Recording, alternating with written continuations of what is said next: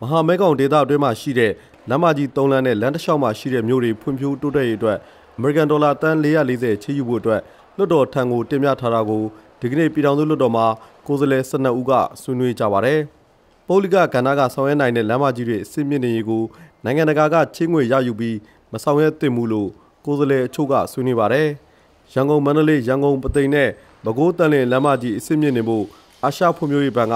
အမေရိကန်ဒေါ်လာတန်340အပါအဝင် တန်360နဲ့ဖအံမော်လမြိုင်နဲ့မြောက်ရီမြို့တွေဖွံ့ဖြိုးတိုးတက်ရေးအတွက်အမေရိကန်ဒေါ်လာတန်80စုစုပေါင်းတန်440ချေးယူမှာဖြစ်ပါတယ်။ချင်းငွေရယူမဲ့အစီအစဉ်ကိုမူအရထောက်ခံပေမဲ့ရန်ကုန်မန္တလေးနဲ့ရန်ကုန်ပသိမ်လမ်းတို့ကိုအစိုးရကနိုင်ငံတကာကချင်းငွေရယူမဲ့အစားပိုလီကကိုလောက်ကင်ခွင့်ပေးတဲ့လို့ကိုယ်စားလှယ်တွေကဆွေးနွေးခဲ့ကြပါတယ်။စိတ်ကြီးခနောင်တို့မျိုးနဲ့ပြည်သူ့လွှတ်တော်ကိုယ်စားလှယ်ဦးတင်ထွန်းနိုင်က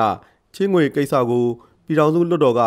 အလင်းစလိုအတိမပြုသင့်ဘူးလို့အခုလိုပြောပါရယ်ခုအစိုးပြုတင်ပြလာတဲ့စီမံကိန်းတွေဟာဆောင်ရွက်ဖို့မလိုအပ်တဲ့စီမံကိန်းတွေလို့ပြောနေခြင်းတော့မဟုတ်ပါဘူးကျွေးတင်ခံပြီးဆောင်ရွက်ရန်မလိုအပ်တဲ့စီမံကိန်းများသာဖြစ်တယ်လို့ထောက်ပြလိုရင်းမှာဆိုရတဲ့မူဝါဒစီးပွားရေးမူဝါဒစနစ်ရမှာပုဂ္ဂလိကကဏ္ဍတိုးတက်စေရေးအားပေးမြင့်တင်သွားမယ်ဆိုတဲ့မူဝါဒတချို့ပါရှိပါတယ်အခုလိုပုဂ္ဂလိကကဏ္ဍဆောင်ရွက်နိုင်တဲ့ဆောင်ရွက်တဲ့အခြေခံအဆောက်အုံစီမံကိန်းတွေကို နိုင်ငံတော်ကပြည်ပချင်းဝင်ရယူပြီးစီမံဆောင်ရွက်တာချမှတ်ထားတဲ့စီးပွားရေးမူဝါဒနဲ့မကိုက်ညီသလိုနိုင်ငံတော်မှာလည်းပြည်ပကျွေးမီဝင်တော့ဝင်ဖို့ထားရမှာဖြစ်တဲ့အတွက်ဒီကိစ္စကို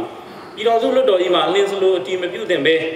အစိုးရလွှတ်တော်နဲ့ ADB တို့ကြားအခြေလေပြန်လဲညှိနှိုင်းပြီးမှသာဆက်လက်ဆောင်ရွက်တင်ပါကြောင်းပြောကြားရေးဒီကုန်းချုပ်ပါတယ်လမ်းမကြီးတွေကိုပုဂ္ဂလိကကိုလုတ်ပိုင်ခွင့်ပေးမယ်ဆိုရင်ပြည်ပအကျွေးတင်မှာမဟုတ်တဲ့အပြင်နှစ်စဉ်ပြင်ဆင်ထိန်းသိမ်းစေရိတ်လဲအစိုးရကကြက်ခံသုံးဆွဲရမှာမဟုတ်ဘူးလို့ ဦးတင်ထွန်းနိုင်ကပြောပါရယ်။ဂံကောမြို့နယ်ပြည်သူ့လွှတ်တော်ကိုယ်စားလှယ်ဒေါ်ရင်မင်းလိုင်ကလန်တမိုင်ကုန်ကြစရိတ်တိန်း3000လောက်ကုန်ကြနေတာကိုဝန်ကြီးဌာနကရှင်းလင်းဆွေးနွေးတင်တယ်လို့အခုလိုပြောပါရယ်။အခုဒီမှာကျတော့တမိုင်ကိုတိန်းပေါင်း3000လောက်ကြတယ်။ အဲ့ဒီကိစ္စကကြာတော်တော်လေးကိုအကုန်လုံးပေါ့နော်ပြန်ပြီးတော့ဟိုစဉ်းစားတင်တယ်သုံးသပ်တင်တယ်သူတို့ဒီငွေချီးမဲ့အဖွဲ့စည်းတွေနဲ့ဒီ ADB နဲ့ရောဟိုတိုင်ပင်တင်တယ်သို့တော့အခုဂျက်ကာဂျက်ကာကလုပ်နေတာလေဂျက်ကာပိုင်းလော့ project ပြီးခဲ့တဲ့လနေငယ်တော့မှလုပ်သွားတယ်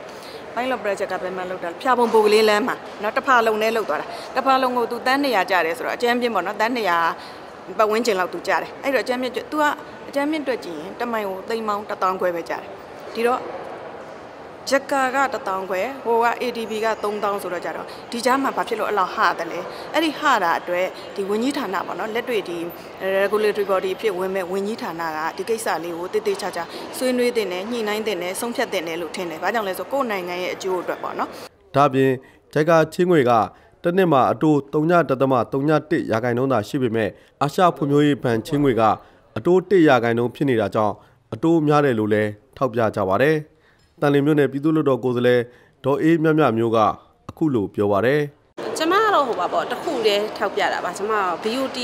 တာဝန်ယူထားတဲ့ကုံရက်တောင်ယူထားတဲ့လမ်းမှာရှင်းဝင်နဲ့ပြန်ဆောက်တော့လေဆိုတော့တကယ်တမ်းကျတော့ဒီ BOT ဒီပသိမ်ရန်ကုန်ရန်ကုန်ပသိမ်လိုင်းညာ လေးလန်းသောဖြစ်တဲ့ညာကိုကြားနေပြီစာချုပ်စာတမ်းအရာဆိုလို့ရှိရင်ပေါ့နော်အဲဒီဝန်ကြီးဌာနရဲ့စီမင်းစည်းကမ်းအရာဆိုရင်ဒါပေမဲ့အဲ့ဒါကို BOT ရဲ့တာဝန်ယူမှုကိုကျွန်တော်တို့ကမတွေးခဲ့ရဘူးအခုကျတော့နိုင်ငံတကာရှင်းဝင်နေဆိုတဲ့ခါကျတော့ကျွန်တော်တို့ပြည်သူအများကြီးနဲ့နာပါတယ်ဒီလမ်းတွေအတွက်ကိုလည်းကျွန်တော်တို့ပြည်သူကပဲလမ်းကြီးတွေပေးပြီးတော့မှဟိုထိုက်တန်တဲ့ဝန်ဆောင်မှုပြန်များတဲ့အဖြစ်ပေါ့နော်ထက်တောင်မှပဲထက်ပြီးတော့ဒါကိုစိုက်ထုတ်ရမယ်ဆိုတဲ့ခါကျတော့ကျွန်မဒီအပေါ်မှာမရှင်းတဲ့အတွက်မေးတာပါအကြံပြုတာကတော့ကျွန်တော်တို့ကဒီလုပ်ငန်းရွေးချယ်တဲ့အခါမှာစစ်စစ်စစ်စစ်နဲ့ဘန်နာငွေတွေအလေးတွေမရှိအောင်လုပ်ဖို့အတွက်ကိုအကြံပြုတာပါရှင်။စောက်လို့ရေးဝန်ကြီးဌာနရဲ့လုပ်ငန်းစီမံချက်ထဲမှာမကြာခင်ကမှအစင်းမြင့်တင်ထားတဲ့ရန်ကုန်မန္တလေးအမြန်လမ်းပိုင်းတချို့လည်းပါဝင်ပါတယ်။အဲ့ဒီအချက်ကိုလည်းလွတ်တော်ကိုယ်စားလှယ်တွေကထောက်ပြကြပါတယ်။လွတ်တော်ကိုယ်စားလှယ်တွေရဲ့ဆွေးနွေးချက်တွေကိုသက်ဆိုင်ရာပြည်ထောင်စုအဆင့်ကိုယ်စားလှယ်ကလွတ်တော်မှာလာရောက်ရှင်းလင်းမှာဖြစ်ပြီးလွတ်တော်ရဲ့အဆုံးဖြတ်ရယူမှာဖြစ်ပါတယ်ခင်ဗျာ။